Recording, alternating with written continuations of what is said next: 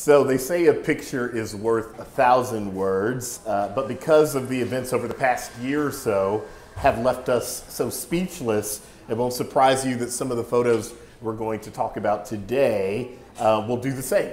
Um, and so, you know, from documenting the second full year of the pandemic and its impact on so many lives to ongoing protests, press photographers visually brought audiences into the center of 2021. Welcome to the GBH studio here at the Boston Public Library, and hello to those who are watching online. We have a visually interactive conversation planned for you today. I'm Lee Hill, and you know, now in its second year, the Boston Press Photographers Association is showcasing the award-winning photos from their annual Pictures of the Year contest. This outdoor exhibit can now be seen in Copley Square until May 25th, and then in Jamaica Plain at Jamaica Pond until June 10th. Now, joining me today are two members of the board of the Boston Press Photographers Association, uh, and they were instrumental in making this exhibit happen and were on the front lines of documenting this year with their cameras. So please join me in welcoming Jessica Rinaldi, uh, Boston Globe photographer, and Meredith Nierman, my colleague, GBH News Director of Photography. Welcome. Thank you. Thank you for having us. And Meredith is also kind of running our slideshow today, so she's doing double duty. Um, welcome to our BPL studio, both of you. We're glad to have you, and um, this is going to be an exciting time.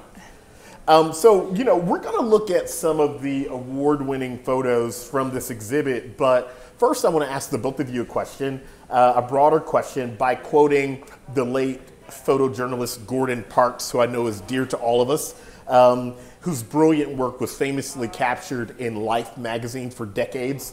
Uh, in his words, quote, I picked up a camera because it was my choice of weapons against what I hated most about the universe racism, intolerance, poverty. He spoke of it as a calling.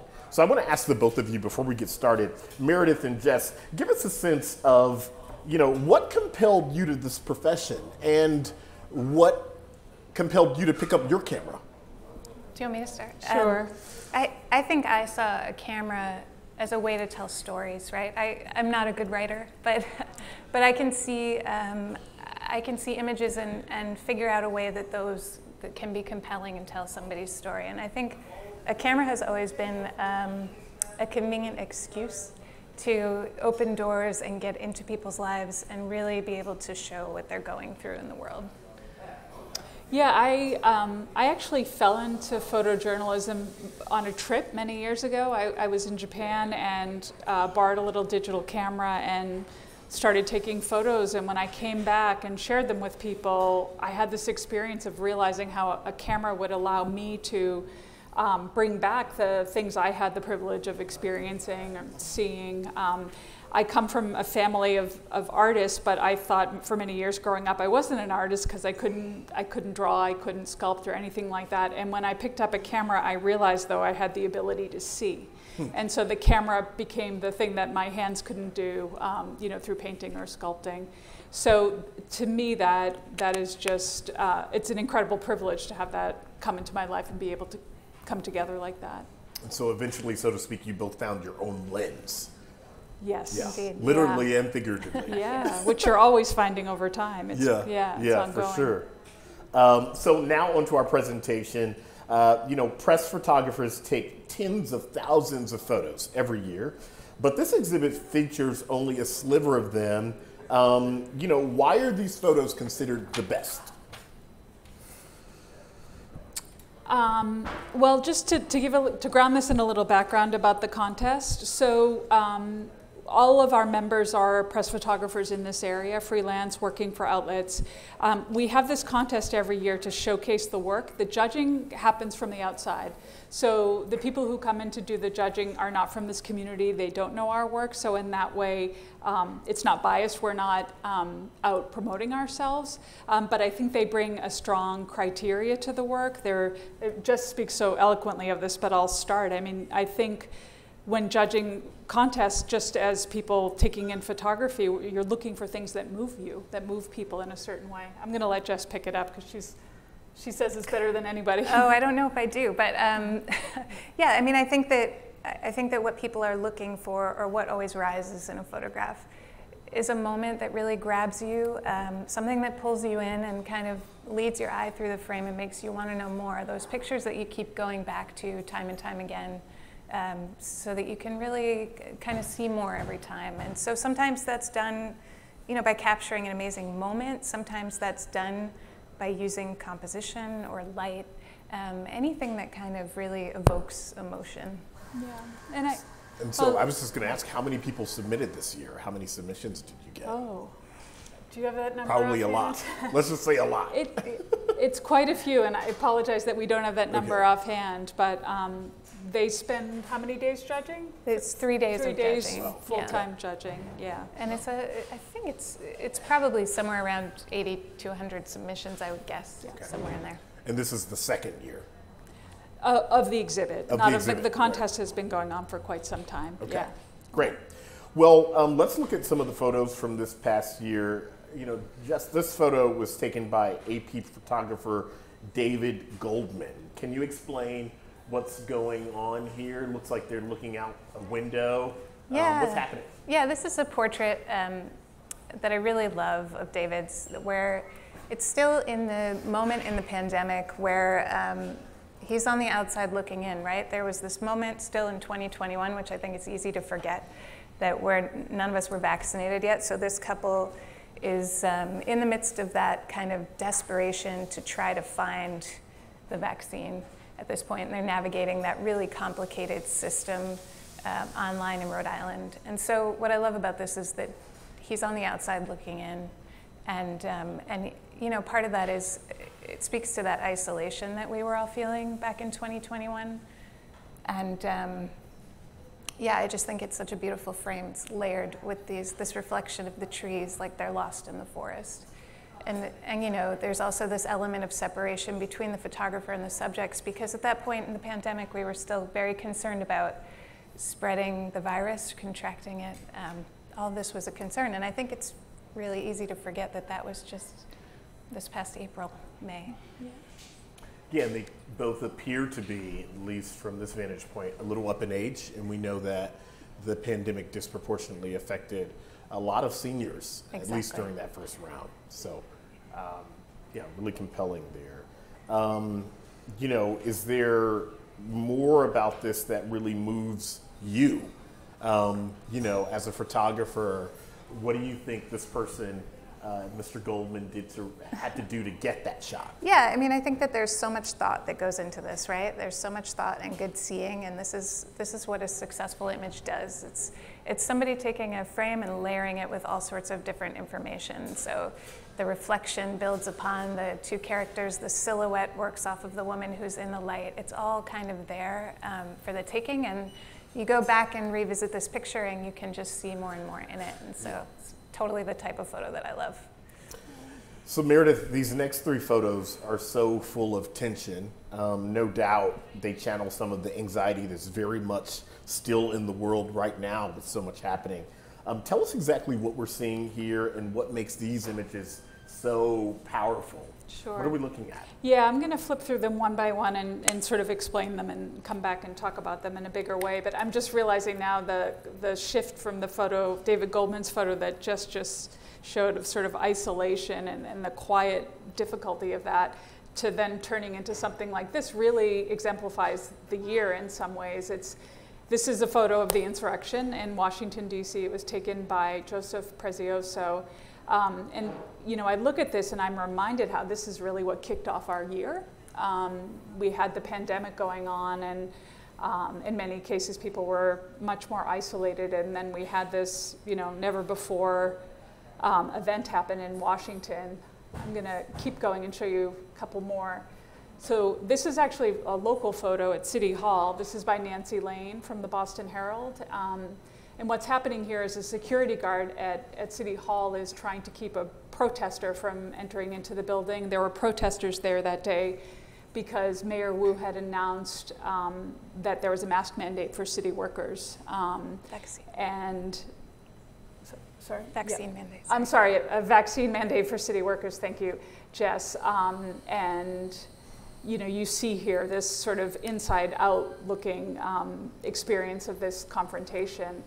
And then the final one is actually from the border, um, the U.S.-Mexican border. This was taken by Allison um, Dinner, who's also a freelancer. Um, and you know, I think probably many people have seen other frames from this moment. But what's happening is here, these are Haitian um, migrants who are trying to cross into the United States. Um, and I'm going to flip back because I want everybody to see these images again.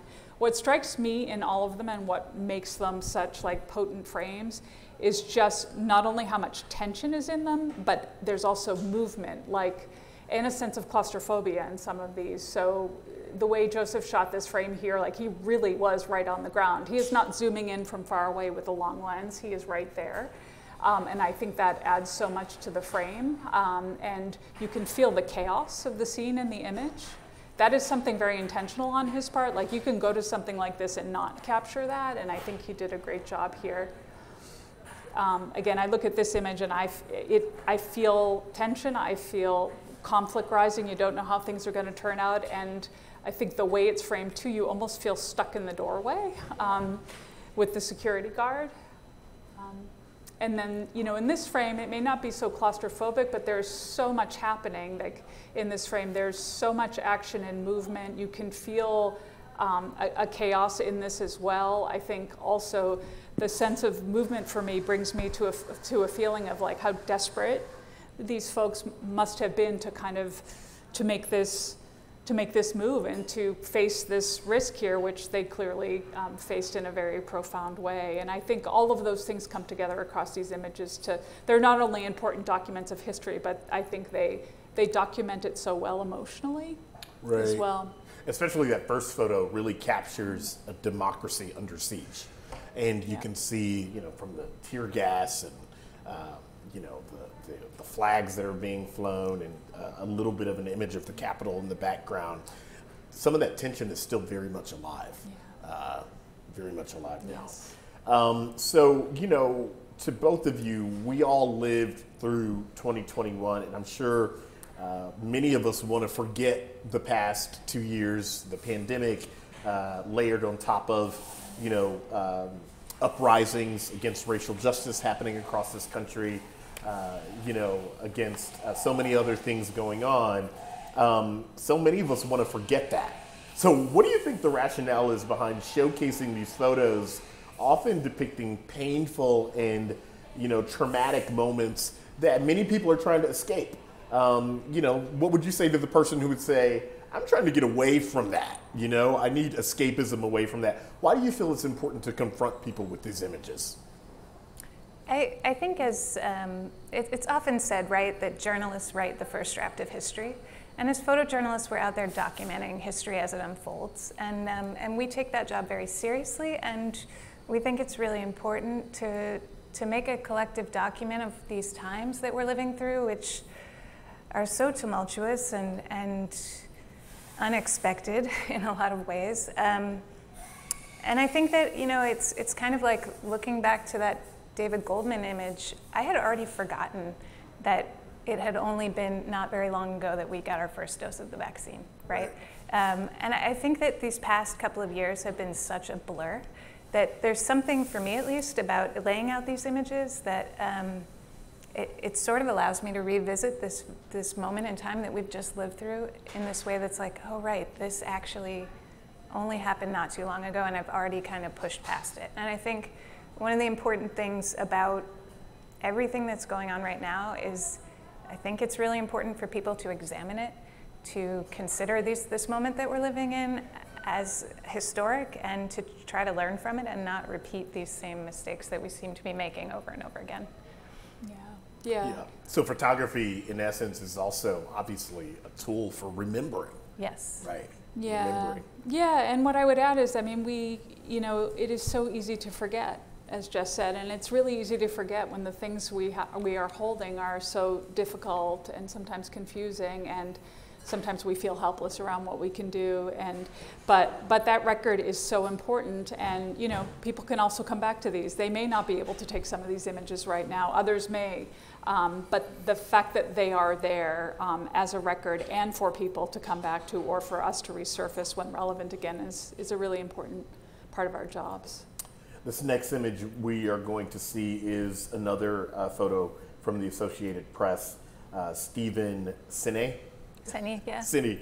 Um, what's the story here? What are we looking at? So this was from a, um, a, dedication ceremony down in Boston Harbor for the, um, the Middle Passage port marker, yeah. uh, which basically was put up to acknowledge Boston's role in buying and selling enslaved people, um, which I think is a history that a lot of people would rather not acknowledge. So there's a, there's a moment I think that's really important of just documenting it, but I think Stephen was very intentional about the way that he framed this, right? With This big chain running through the center of the frame. It's, it's evocative of that history in our country and, and also of how that history still impacts us today.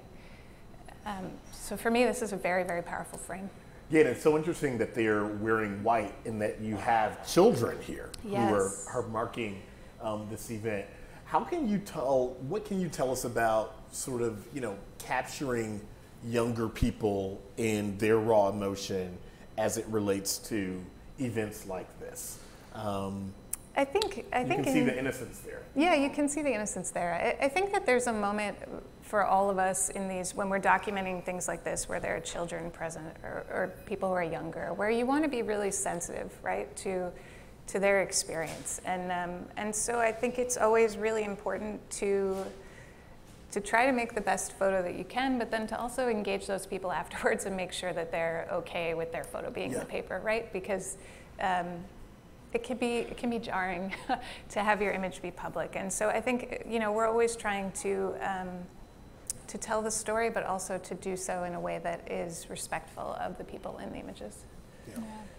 You know, I um, I agree with that 100%. I would also say that I have experienced that when I, when I engage with young people before taking their photo or after, way more than grown-ups they're like sure no no no big deal and that doesn't we have to start at Jess's point and that is the right place but I have very much been struck by how uh, younger people um, that sense of being photographed is quite different than when I was growing up, where you know it wasn't constant constant picture taking in my life, and I think it's because younger people are living with cameras all the time. They're documenting their lives, their friends' lives, and I think it creates a different openness sometimes. Well, we're going to move a little closer to home with images. Yeah. Meredith, these next three photos are very local, um, less than a mile from where we are right now, taken at City Hall. Uh, tell us more about these and what strikes um, what strikes you. Sure. Um, well, this first one here is of Kim Janey, who um, uh, was mayor of Boston Beautiful briefly. Shot. Yeah, it's um, by Angela Rowlings, who's a freelance photographer here in Boston. Um, and this is her uh, inauguration. This is a moment in her inauguration. Um, what is so important about this image um, is that this past year, we have had a historical moment at City Hall, which is Boston, which has forever been um, primarily, uh, our mayors have been white men. They not primarily, they have been white men. Um, we haven't had a woman mayor, let alone a person of color. And um, this year we had Kim Janey and also another photograph that I'm going to show you soon, Michelle Wu. And I, I want to say what I love about this photograph, besides that it is a great historical document, is that this and the one we're going to see of Janey are classic scenes that we see of mayors, of elected officials, you know, at podiums, waving after their inauguration. And, and I, I love that she actually stuck with that classic thing that we've seen um, because it kind of validates the importance of, of this change that's happened in this city and a long overdue change, I think many people would feel. This is a, another frame from Janey's inauguration, and again, I, I, oh, wow. what I love about this is the combination of classic photo. We see this photo for inaugurations. There's, there's usually a white hand on a Bible and a, a child or a partner um, standing nearby, and here we have the, the hand of a black woman, and this is her granddaughter actually looking up, and I the, for me, the child, like, of course, as always, symbolizes the future, and you know, and having role models and the importance of that. And then this final one is of Ma- our current Mayor Wu. Um, this is a press conference that she gave after being sworn, sworn in as mayor. Um, and here again, you see this is this is a photo we've all seen, or you know, where an elected official surrounded by the press, um, and I think that really shows her uh, in the power that she she has. Um, in both portraits, I think what I love is that the photographers centered their smiles. Their smiles come through. There's there's such positivity and, and joy, and I really appreciate that these these images show both women, you know, in that in that place in these really historic moments. Can I ask both of you, is there a different approach that you take to your job or how you show up when you know that you are documenting history? When you know that you are taking a picture of something that hasn't ever happened before and you know will probably be immortalized in a special way, like when we see Kim Janey and, and Mayor Wu. Is there, um, you know, is there a special, uh, you know, uh, way that you think about doing your job in those moments? I triple check my equipment and bring extra cards. Um, no, and, and get there as early as I can because these, these things tend to be very crowded. Um, so I am thinking about the enormity of it. I mean, I would say that I, I try to treat every, every person in every situation as if they're the mayor of Boston and, and it's an important moment. But you do want, you want to have the best access as possible in a moment like this. You don't want to be crowded out um, because then you, you, you won't be able to take images that, that allow people to truly see what is happening. And I, I think you, all, I think in everything that we do, right, we're, we're always trying to keep, uh, for me at least, I'm always trying to keep in mind what is the what is the kernel of the story and how do I illustrate that, right? I think Angela did a really beautiful job uh, in the subtlety that's in those photos, right? Like this photo, it's it's subtle. It's a subtle moment, and I'm always looking for those kind of quiet uh, pictures that that will just kind of evoke something further in somebody. So, uh, especially on a historic occasion, I think it's such a privilege that we get to witness history. It's one of the most incredible parts of this job. And um, so, yeah, I mean, I think you want to always do it justice. Can you ever think of a time where the emotion of the photographer has come through in what we're all seeing in an image or what you've done with anything you've done? Um, I have always felt like my subjective experience in a moment is a key part of making a good photo. Um, and I think that sometimes my emotions, my reactions to things lead me to see things that, you know, if I were coming in and trying to be purely objective, which I believe is impossible, um, I might miss that because I'm not being like highly attuned and sensitive in the moment. I would also say that um, it's keeping my, trying to be mindful of my sub subjectivity and thinking about how it might influence how I frame moments or frame people um, is really key. So I, I, work with all those feelings um, and, and try to use them for good. I think that's right, yeah. So, I mean, we know as with, you know, journalists of the written word as well as, you know, journalists who are, who are capturing moments for us visually, um, sometimes we put ourselves in harm's way. Um, can you talk about some of the complexity involved in getting the best shot? You know, um, in sort of telling not just uh, you know capturing what people see, but the story behind the photo. Um, can you talk a little bit about some of the difficulties you face when photography, yeah. when photographing? Well, I think I, I, think that the Joseph Prezioso photo is a great example, right? The January 6th insurrection photo. That's a moment where nobody knew that that was going to happen. I mean, he was prepared, I'm sure, with a, a gas mask because we have started to take precautions like that. Um, but I think that there are, there are just moments that you don't expect, and a photographer's job is to kind of run towards those moments. So, in a lot of ways, um, that's just your, your basic instinct, but you have to kind of listen to whatever is like little voices in the back of your head that says stop when it does. Um, so there are moments in which, yeah, you kind of you charge ahead, but you do so very cautiously. In the, I can't really quite describe yeah. that balance because it's irrational. I mean, we, we talk about this in our own newsroom, which, you know, no no picture. I mean, I'm the photographer. Like, is is worth getting yourself seriously hurt or or somebody else seriously hurt. But so you just have to be very very mindful, I think, and, and use your instincts. And you know, there are certain photographers who will go into situations that others won't, and that's that's also okay. Yeah. We're gonna change gears now to sports. Uh, I'm newer to Boston, as Meredith, as you know, and so you know I'm really starting to see how crazy this town can be when it comes to rooting for a favorite team. Um, just talk about these next three images because it's related to, to sports. Yeah, so I mean, I think what's great about Boston is not only do we have world class teams, but we have world class photographers who are out there taking these photos.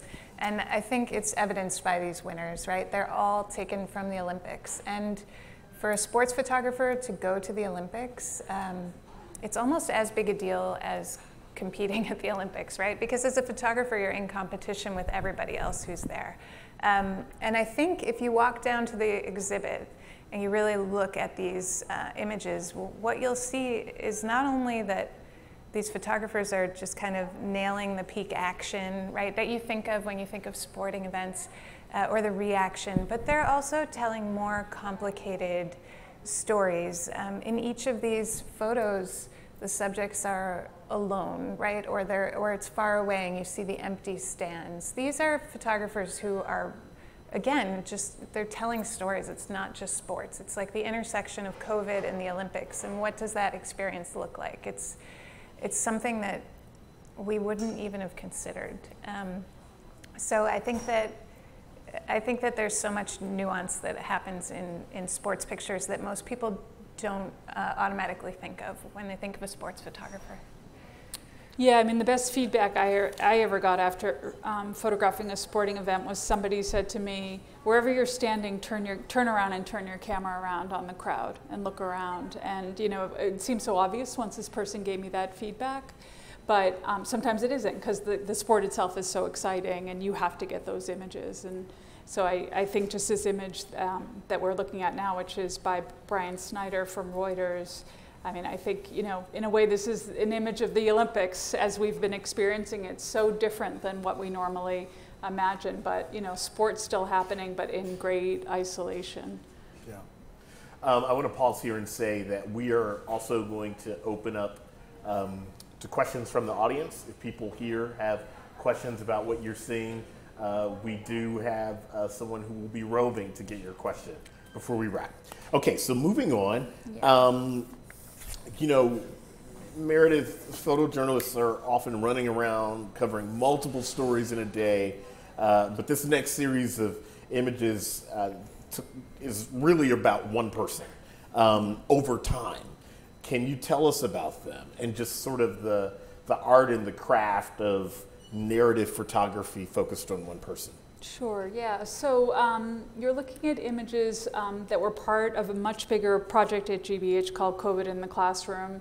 We followed three high school seniors in this area over the course of their senior year in the middle of the pandemic to, to better understand and to know from them what that experience was like. And I um, spent a great deal of time with this young woman named Anne Laurie Pierre. She was at the time uh, a high school senior at Everett High, class president, um, and had a big dream to go on to college. Uh, and actually, she had a very specific dream school, which was Howard University. Um, no one else in her family had ever gone to college, and she entered into her senior year like so many other seniors, which was sitting in her bedroom, you know, on a laptop or sitting at a table, very, very isolated from normal high school experience hard for so many kids, and it was for her. But on top of all of that, Anne Laurie had some other really significant challenges. Her father had died from COVID in the first year of COVID. Her mother, then, who had previously been sick with cancer, relapsed during this year. Um, and Anne Laurie, who was always very involved with her siblings and cousins, was left to do a lot of the care um, of the kids while also trying to be a high school senior. Um, and so I was able to be with her on and off throughout her entire school year, um, from studying it, learning at home to being in her home with her family to eventually being able to venture out and meet some classmates to going back to school very, very briefly and then to actually um, graduating and getting into that college of her choice, Howard University. My um, alma mater. Yeah, yeah, and um, she's now just done with her first year. Um, and so, you know, because of that, getting to spend an ex extended period of time, you, you know, I was able, and, and I think through the photos that I was able to take to kind of share back a much deeper look at her life than, you know, if I had shown up and met her a couple of times somewhere. Can you talk about persuading someone who's really had a difficult time or experienced tragedy to give you that level of access? Yeah. That really takes some vulnerability on their part.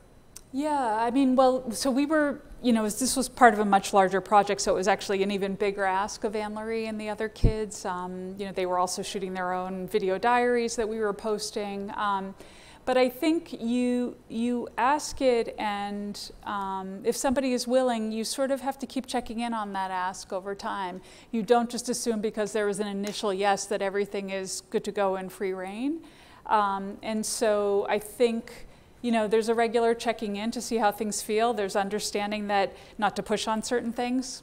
You know, somebody needs something to just be all to themselves. They need it to be private. Um, and I think there's there's a sort of learning over time with the person about uh, you know you kind of get to know a person pretty well in a certain way, and that person gets to know you. And so there is a way you begin to start to talk back and forth and understand back and forth about like what feels okay and what doesn't. But I also regularly check in about that. Have you, can you remember a time when someone initially agreed to let you in and then after a while they said, actually, this doesn't feel okay? Um, you know how did you navigate that? Yeah i have never had a like i'm this doesn't feel okay i don't want to do this anymore though i know people have. Um, what i have had though is something that initially they thought would be okay for me to be present with them somewhere they changed their mind. Okay. and sometimes they change their mind well ahead of time and sometimes you show up. And and the answer of course is absolutely okay you know i think that is something we have to completely respect would give you a, a, chance to weigh in on that. Oh, I mean, I agree. I, I think um, when you navigate a long-term story, it's a relationship with someone, right? And you're you're building trust constantly, and you're fostering that trust and connection. And so, just like Meredith says, it's not it's not that somebody gives you access in the beginning and then and then it's all good, right? It's it's that you really want to respect um, their lives and their privacy, and you want to make sure that you're both on the same page. And so I do think it's a constant conversation. And I think that there's this misnomer in documentary photography. Uh, people think that you're just a fly on the wall and that you know you just go in and you disappear. But I have always found that not to be the case. That it's actually more of much more of a relationship where you're you're present. Um, you know, you you get to know somebody and they get to know you, and it's it's a balancing act because you're not friends per se, right? Um, but you do care, and so I think I think that people can sense when you're genuine and when you're genuinely invested, and um, when your interest is coming from from a place of care and concern. And I think that that's the most that's that type of empathy is what allows this type of work to be done. That's so interesting because I think for most of these photos, when you look at them it's almost as if the photographer is not even there. Right. But you're saying it's not a pretend like I'm not here, but it actually is a relationship where they know that you're there, but they are somehow able to be their most authentic self in a moment. I think it's a little bit of both, right? Yeah. It's it's like pretend like I'm not here, but but in moments I will be here and we'll talk, right? Um, and I think that ultimately they get used to you being there, and that's when people reveal a little bit more about their lives in a more authentic way. And that is the value in being able to go back and revisit a subject.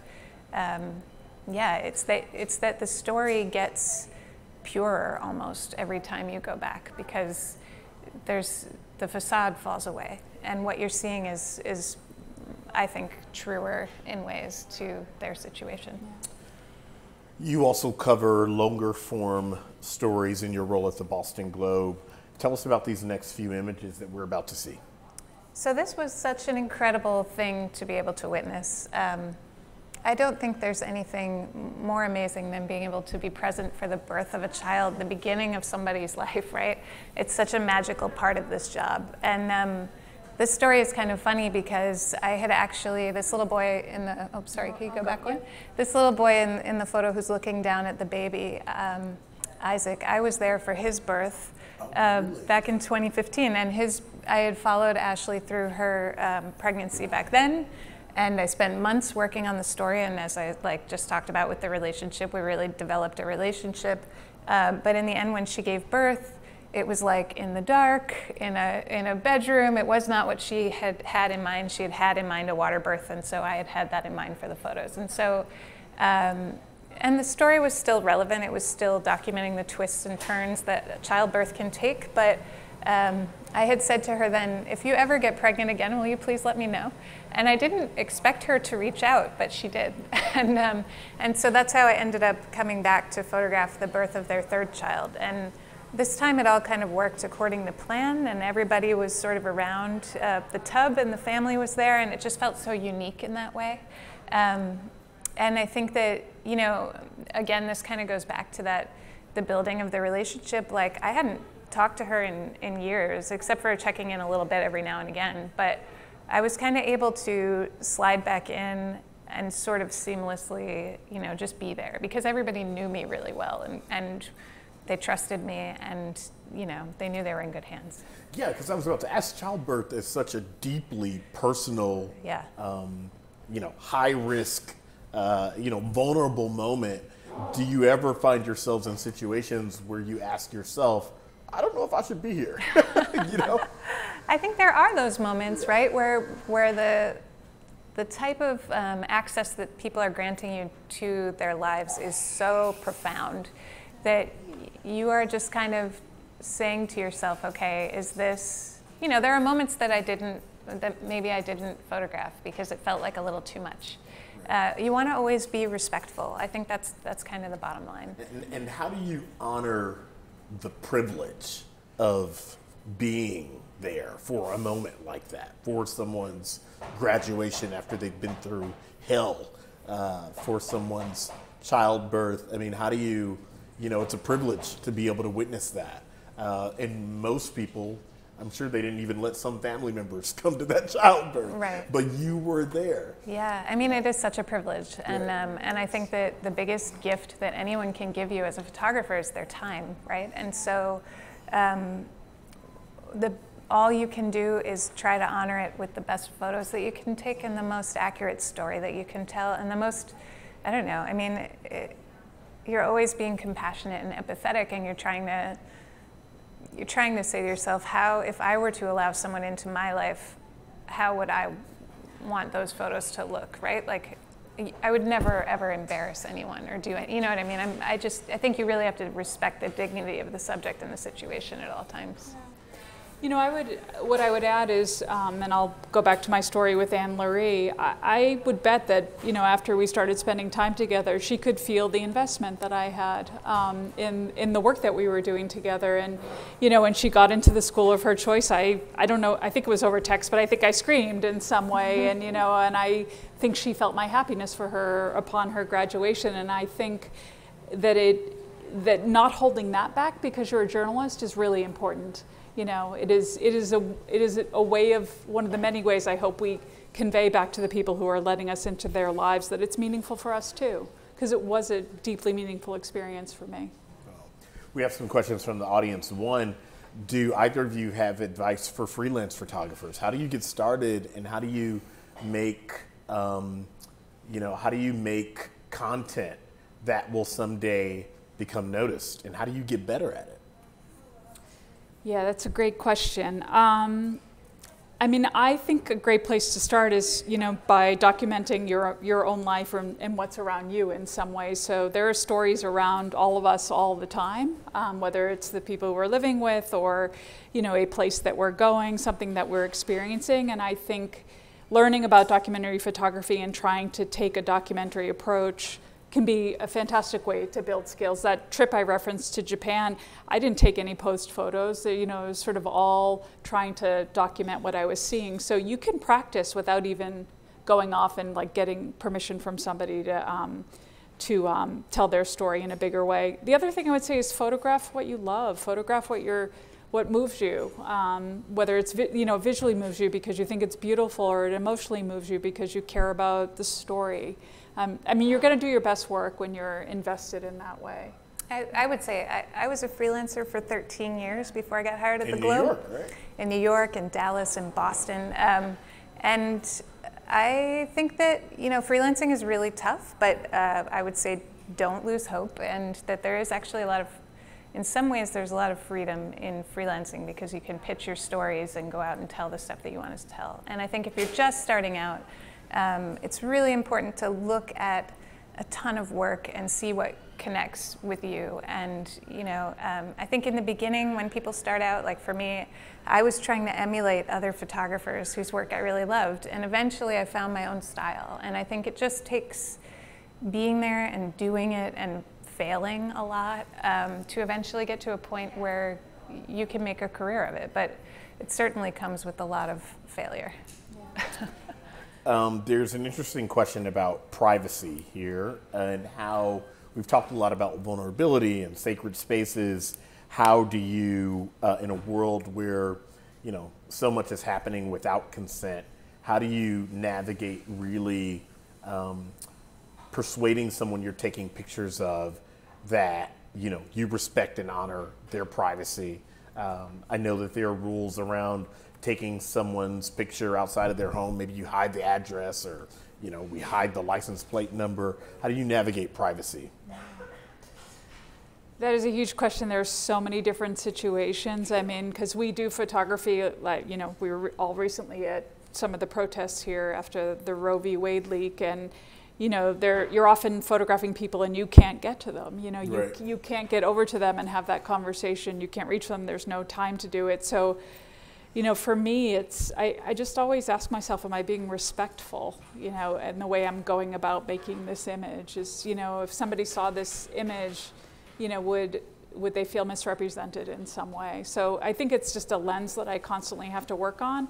When I am closer to somebody and in, in touch with them, I think it gets back to the, you know, really like seeing where the person is as you're photographing them, really like checking in directly, not just sensing, but checking in directly and respecting if something feels bad. Um, it's really that. And I don't, I don't ever want to be convincing someone. Yeah. Right? I, I, think that's a bad place to be. I, I would much rather find somebody that's open.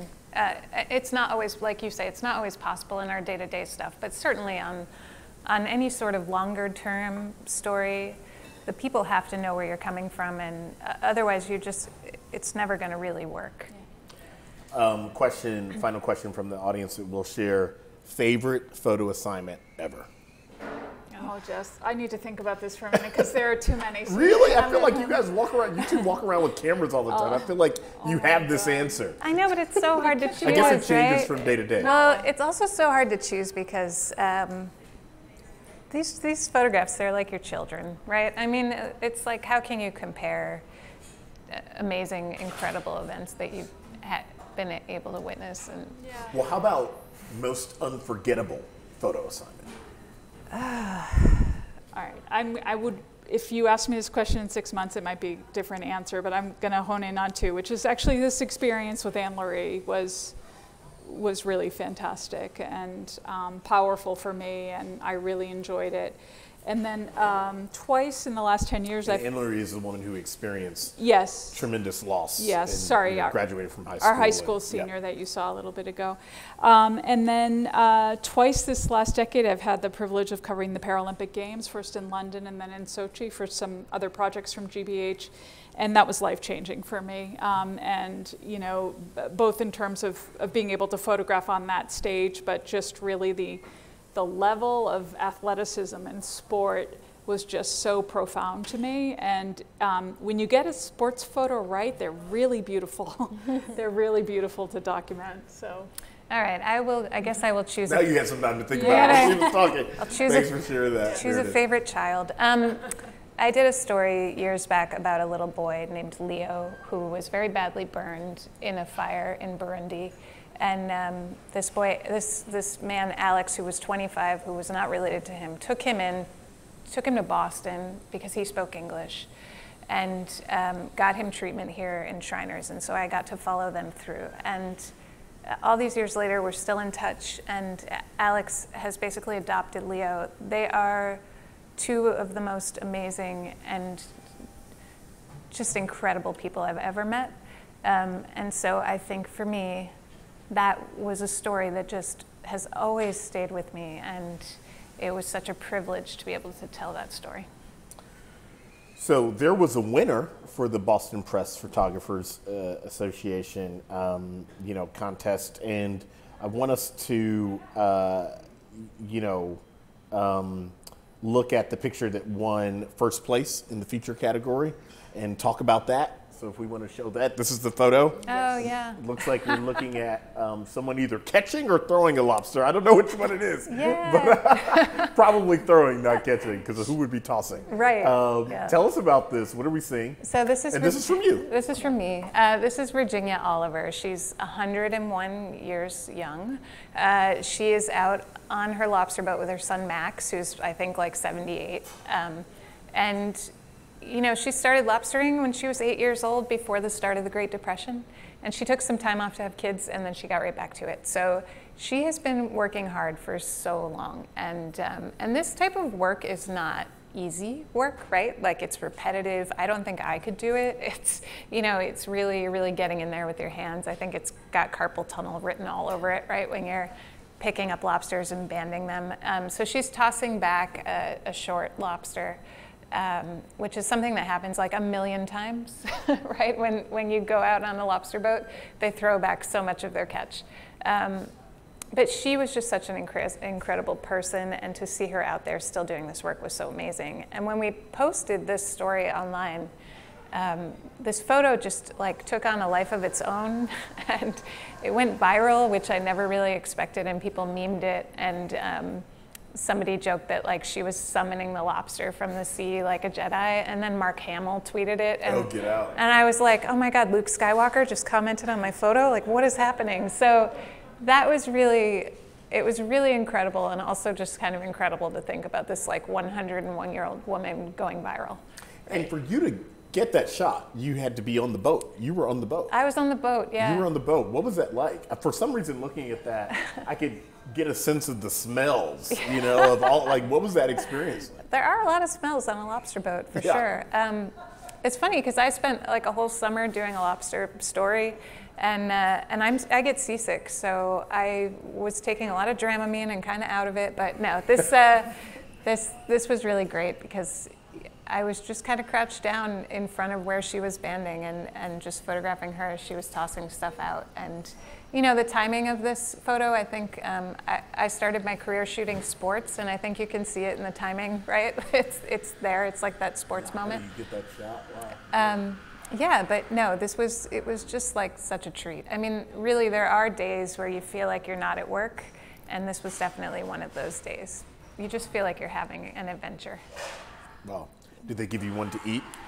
I, you know what, they offered. Maybe you can't answer um, that. No, no, they, they did. They offered me, and I said, I, I, after seeing how much work goes into this, I will never take a lobster for free. Like Uh. you, you guys should definitely get paid for every one that you pull out of the sea. Well, that's great. Um, so, you know, what is one thing that both of you hope will be taken from this exhibit? Um, you know, and why should people be compelled to go and see this exhibit and remember? Because some of these memories are hard and and unpleasant and inelegant.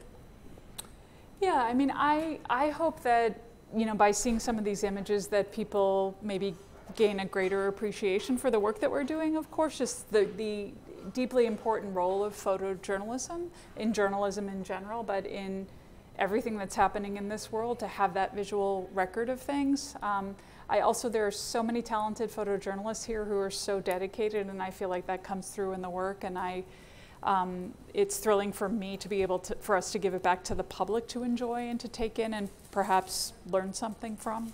And I hope that people will see that um, beyond just artistry, what they might associate with, with photography, I, I would like them to see that there's a lot of thought that goes into these pictures, that in a lot of ways, um, photojournalists are out there uh, being as thoughtful as the reporters that are accompanying them on their stories. And so, uh, yeah, I, I would just like them to come away with a better understanding of photojournalism and this moment that we've just lived through because we've all collectively gone through it. And I think what this exhibit does really well um, is it takes us through the highs and lows. And yes, some of it is difficult, but I think there's also a tremendous amount of resilience there and, um, and moments of joy. And, and I think those are equally as important because we're all getting through it. Well, for people here in the audience and people um, watching online, you can view this exhibit in Copley Square, Copley Square until May 25th, right? Mm-hmm. Um, when it will travel to Jamaica Pond uh, in Jamaica Plain, where it will be until June 10th. So we got a bit of a window here for people to take this in.